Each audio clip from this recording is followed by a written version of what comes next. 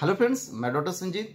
आज हम डिस्कस करेंगे हमारे गुदामार्ग एवं गुदामार्ग के आसपास जो स्किन होता है, यानी जो पेरिनल रीजन है, उसमें कई बार खुजली की समस्या इतनी गंभीर हो जाती है कि इसका कितना भी हम ट्रीटमेंट कर लें, उसके पश्चात भी हमें आराम नहीं मिलता। तो डियर फ्रेंड्स किसी भी बीमारी की अगर हम सही से डायग्नोसिस बना लें तो उसका इलाज बहुत ही आसान होता है। तो आइए आज हम डिस्कस करेंगे कि हमारे मलद्वार के आसपास जो इचिंग होती है, वो उसका मुख्य कारण क्या है और उसका सबसे बेस्ट ट्रीटमेंट क्या है? तो डियर फ्रेंड्स जो सबसे दो प्रमुख कारण हमने देखे हैं अपनी क्लिनिकल प्रैक्टिस में, वो है फिशर और फंगल इन्फेक्शन इन दो कारणों की वजह से जो हमारे बॉडी में इचिंग होती है मलद्वार के आसपास, बहुत कॉमन है। तो डियर फ्रेंड्स जैसा कि आप यहाँ पे देख रहे हैं, ये हमारी एनल कैनॉल है, ये डेंटेट लाइन है, इसके नीचे जो है वो लगभग दो सेंटीमीटर का जो एरिया होता है, यहाँ पे सोमेटिक नर्व का इनर्वेशन होता है और कई बार हमारे मल द्वार में यहाँ पे कट लग जाता है।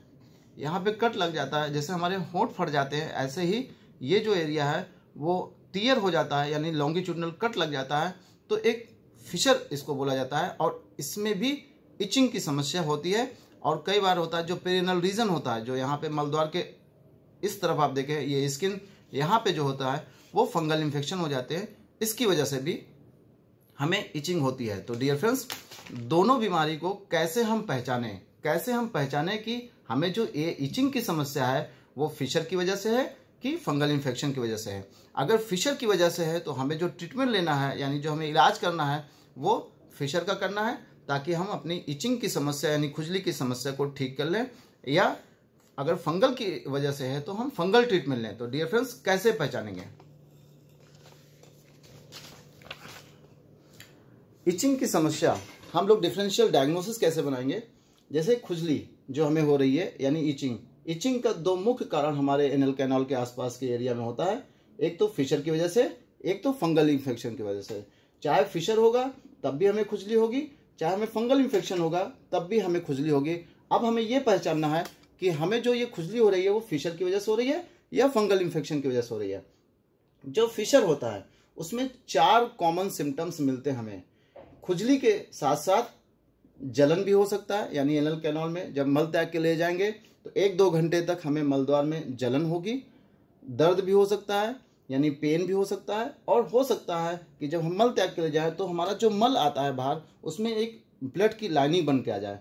तो जो फिशर होता है, उसमें चार सिम्टम्स होते हैं। ज़रूरी नहीं कि ये चारों सिम्टम्स फिशर में एक साथ दिखाई दे। डियर फ्रेंड्स हो सकता है केवल खुजली हो हो सकता है केवल बर्निंग हो रहा हो हो सकता है पेन के, केवल पेन हो रहा हो हो सकता है केवल ब्लीडिंग हो रही हो।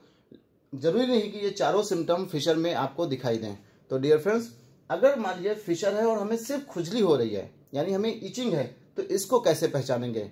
डियर फ्रेंड्स जो फंगल इन्फेक्शन होता है फंगल इन्फेक्शन में भी खुजली होती है, लेकिन जो ये खुजली होती है, ज़्यादातर मल द्वार के बाहर होती है। और जो फिशर होता है, ज़्यादातर जो खुजली होती है, वो मल द्वार के अंदर होता है। तो थोड़ा सा मैं आपको एक्सप्लेन कर दूँ थोड़ा सा डिफरेंशियल डायग्नोसिस बनाने के।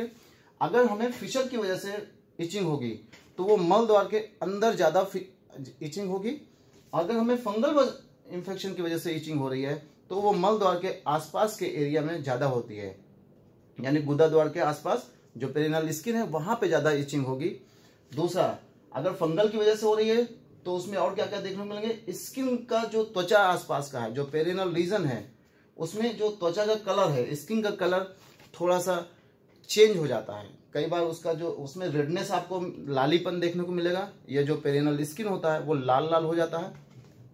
यहाँ की खाल अगर आप देखें, जैसे मान लीजिए मलद्वार है नॉर्मल स्किन है तो नॉर्मल स्किन की तरह दिखेगा जैसे आस पर, लेकिन जहाँ पे फंगल इन्फेक्शन ज़्यादा होंगे, वहाँ की जो खाल होती है, वो थोड़ा सा छूने पे हल्का सा मोटा मोटा फील होता है हल्का सा हार्डनेस वहाँ पे फील होता है। ऐसा हमने क्लिनिकल प्रैक्टिस में देखते हैं रोज कि जो भी पेशेंट फंगल इन्फेक्शन की वजह से इचिंग कंप्लेन करते हैं, वहाँ की खाल में थोड़ा सा चेंजेस होते हैं। ये डिफरेंशियल डायग्नोसिस बनाने में हमें हेल्प करता है। जब हम पर रेक्टल एग्जामिनेशन करते हैं, कोई पेशेंट अगर हमारे पास आता है कि हमें इचिंग की समस्या है तो हम दोनों को डिफरेंशियल जब डायग्नोसिस बनाते हैं तो एक में हम ये देखते हैं, कहीं मलदौर में कट तो नहीं लगा है। अगर कट लगा है तो जो फिशर का पेशेंट है वो इचिंग हमें बता रहा है। अगर कट नहीं लगा है, कोई भी एनल कैनॉल के आसपास कोई भी हमें चेंजेस नहीं दिखाई दे रहे हैं तो स्किन इसके आसपास में जो स्किन है, उसका कलर कैसा है? वहाँ पे हार्डनेस तो नहीं है, वहाँ पे रेडनेस तो नहीं है, उसकी जो खाल है वो मोटी तो नहीं हो गई है। तो ऐसे हम पहचानते हैं कि जो हमें ये इचिंग की समस्या है, वो फिशर की वजह से है या फंगल इन्फेक्शन की वजह से है। डियर फ्रेंड्स फिर से मैं रिपीट करता हूँ। फिशर में चार सिम्टम्स मिलते हैं, बहुत कॉमन इचिंग यानी खुजली होना बर्निंग मलत्याग के पश्चात हमें जलन होना, और ये जलन दो तीन घंटे तक रहती है। पेन दर्द, मलत्याग के बाद हो सकता है दो घंटे दर्द रहे या हो सकता है पूरा दिन भर दर्द रहे, और कभी कभी थोड़ी बहुत ब्लीडिंग होती है। तो डियर फ्रेंड्स और ज़रूरी नहीं कि ये चारों सिम्टम एक साथ हों।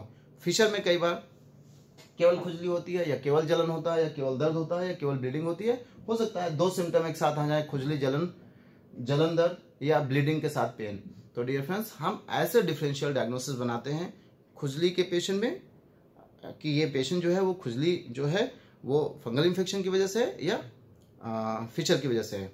डियर फ्रेंड्स ट्रीटमेंट ट्रीटमेंट की बात करें तो फिशर का जो ट्रीटमेंट है वो हम छाड़ सूत्र विधि द्वारा करते हैं हाँ एक चीज़ और होती है, जो फिशर का पेशेंट होता है, उसमें अगर क्रोनिक पेशेंट है तो आप देखेंगे तो उसमें थोड़ा सा जो स्किन होती है, वहाँ पे हल्का सा स्किन टैग भी आपको दिखाई देगा।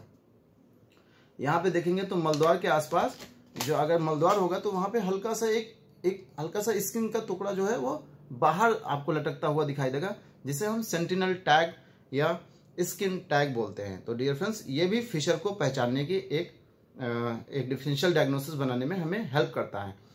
ट्रीटमेंट की बात करें तो डियर फ्रेंड्स फिशर में छाड़सूत्र विधि सबसे बेस्ट होती है। छाड़सूत्र में क्या करते हैं? यहाँ पे, जहाँ पे स्किन कट होता है, जो टीयर होती है, उसके पीछे से एक छाड़सूत्र लाइगेट कर देते हैं और 10 से 15 दिन में 15 दिन में लगभग कंप्लीट क्योर हो जाता है। जब फिशर सही हो जाता है तो इचिंग अपने आप सही हो जाती है। लेकिन जो अगर हम फंगल इन्फेक्शन की वजह से हमारे पास इचिंग का पेशेंट है तो इसमें हम क्या कर सकते हैं? सबसे पहले, जब भी फंगल ग्रो करेगा यहाँ पे, हमारे मलद्वार के आसपास या ग्रोइंग रीजन में जब फंगल ग्रो करता है तो सबसे मुख्य कारण होता है वहाँ पे मॉइस्चर जैसे हम शौच करते हैं तो तुरंत अंडरवियर चढ़ा लेते हैं। तो वहाँ पे क्या होता है, गीलापन रह जाता है मलद्वार के आसपास। तो उसकी वजह से भी फिशर होते हैं। तो सबसे पहले फिशर का ट्रीटमेंट करने से पहले उस एरिया को हमेशा ड्राई रखें। हमेशा उसको ड्राई रखा जाए। उसके साथ साथ हम कोई भी डस्टिंग पाउडर यूज़ कर सकते हैं। यानी ड्राई करने के लिए कई बार होता है, हम पैदल चल रहे होते हैं, या कहीं ऐसे जगह हैं जहाँ ज़्यादा पसीना हमारे बॉडी में आ रहा होता है तो मल द्वार के आसपास ज़्यादा पसीना इकट्ठा होने से भी फंगल इन्फेक्शन होता है। तो हम पहले तो कोशिश करें ड्राई रखें कॉटन का कोई कपड़ा से पहुँचते रहें हर दो तीन घंटे पे। दूसरा, अगर नहीं कर पा रहे तो वहाँ पे डस्टिंग पाउडर आते हैं एंटी फंगल मॉडर्न में भी डस्टिंग पाउडर आते हैं और आयुर्वेद में भी आते हैं। जैसे क्यूटिस आयुर्वेद में पाउडर आता है, हम लोग एंटी फंगल के रूप में यूज़ करते हैं क्यूटिस वासु कंपनी का। इसके साथ साथ मॉडर्न में भी बहुत सारे डस्टिंग पाउडर आते हैं फंगल ट्रीटमेंट के लिए।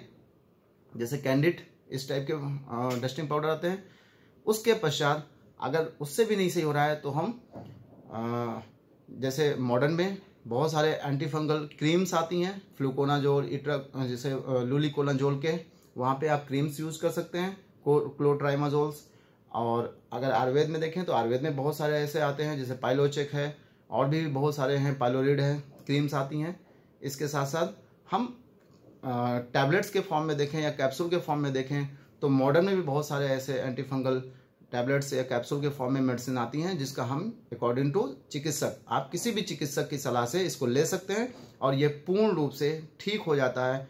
ऐसे कई पेशेंट हम लोग देखे हैं जो तीन चार साल से लगातार इचिंग की समस्या से ग्रसित होते हैं और सही डायग्नोसिस ना बनने की वजह से जो है वो ट्रीटमेंट सही नहीं लेते।